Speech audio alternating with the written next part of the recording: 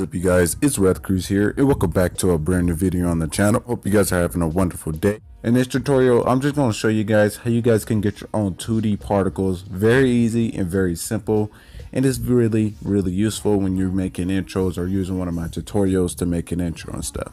So for this you guys will need two apps which is Legend and KineMaster. If you guys don't have Legend or KineMaster, they're both free in the place. So you guys can easily download it so first thing you guys want to do is go on ahead and open up Legend. Alright, so once you guys have opened up Legend, you'll be greeted with this. So once you guys have been greeted with this, what you guys want to do is just simply put in the period. Simply tap the check mark, tap the play button, simply scroll all the way to the end to where it has these particles right here. If you guys want it like this, these type of particles where it's moving in the background with these type of particles. So for this one, I'm just going to use this one right here. Simply tap on the settings right here. Let's choose 1080p. Simply put on landscape and just press the check. It will look more like this. Just simply download it. I'll meet you guys in KineMaster. So once you guys have done that, you guys simply just want to make it as long as 11 seconds, 12 seconds, or as long as your intro.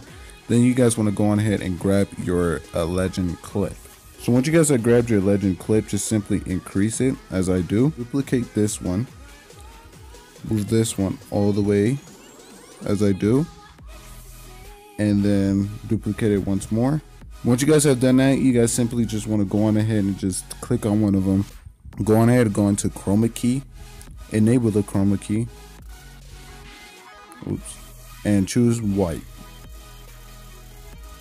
Once you guys have done that, as you guys can see, you guys have something like this.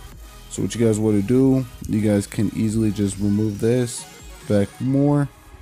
And then as you guys can see, you guys will have your animation. You guys can do this to all of them if you guys wish to. So I'm gonna do that right quick. And right now I'm gonna show you guys how you guys can change the color of it. So what you guys want to do is simply tap on it you guys want to scroll down and as you guys can see down here you guys will see color filter. You guys want to choose color filter and as you guys can see there should be a green a yellow a red and whatnot. And as you guys can see if i chose choose it it will be different colors and that's how you guys change the colors. Um, very simple very easy. And yeah so that's pretty much it for this video guys and i hope you guys did enjoy and if you guys did, slap that like button. Go, if you guys want to, you guys can go subscribe to my gaming channel because I'm coming out with a new BO2 trolley video. Hilarious, and I think you guys will like it. And without further ado, I'll catch you guys in the next video.